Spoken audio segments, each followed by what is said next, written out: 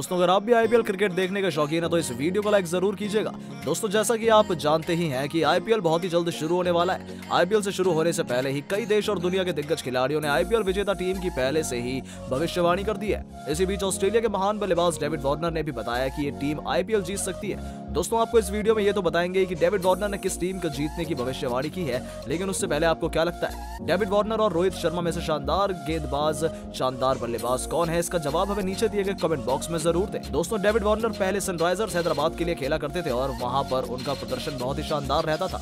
David Warner ने Sunrisers Hyderabad के लिए कप्तानी करते हुए बहुत ही मुकाबले जीते हैं और एक बार तो सनराइजर्स हैदराबाद को आईपीएल चैंपियन भी बनाया है। हम बात कर रहे हैं 2016 की।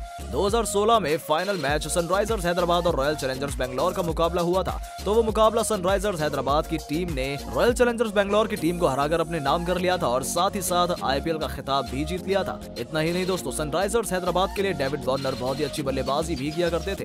डेविड वार्नर इकलौते ऐसे बल्लेबाज है जिन्होंने आईपीएल के इतिहास में तीन बार ऑरेंज कैप जीत रखी है। दोस्तों आईपीएल में ऑरेंज कैप उस खिलाड़ी को मिलती है जिस खिलाड़ी की एक सीज़न में सबसे ज़्यादा रन होते हैं। डेविड वार्नर के नाम 2015, 2017 और 2019 में ऑरेंज कैप है। बतौर कप्तान डेविड वार्नर के बल्लेबाजी के प्रदर्शन भी बेहद शानदार है। लेकिन डेविड वार्नर के इतना ज़्यादा काबिल होने के बावजूद भी सनराइजर्स हैदराबाद की टीम ने उनको रिलीज़ कर दिया। अब डेविड वार्नर दिल्ली कैपिटल की टीम के लिए खेल रहे हैं और उन्होंने आईपीएल चैंपियन टीम की घोषणा भी कर दी है। उन्होंने कहा कि कुछ भी हो जाए, इस साल आईपीएल तो दिल्ली कैपिटल्स की टीम ही जीतेगी। ये आईपीएल में इतिहास में एक नया रिकॉर्ड बन जाएगा और दिल्ली कैपिटल्स के नाम भी एक आईपीएल ट्रॉफी हो जाएगी। मैं अपनी टीम दिल्ली कैपिटल्स को आईपीएल ट्रॉफी जिताने की पूरी कोशिश करूँगा। इसके लिए चाहे मुझे कुछ भी करना पड़े, मैं अपने आप का सौ दिल्ली कैपिटल्स की टीम को आईपीएल का खिताब जिताने में लगा दूँगा।